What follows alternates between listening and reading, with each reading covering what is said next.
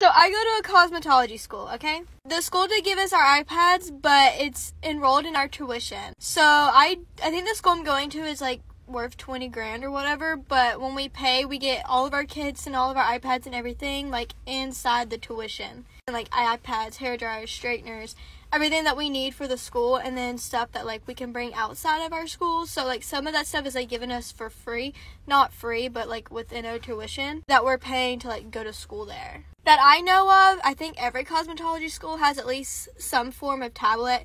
I don't know if it's a, quite an iPad, but I know a couple of schools that do give like tablets out, but we do pay for it, like out of our own money.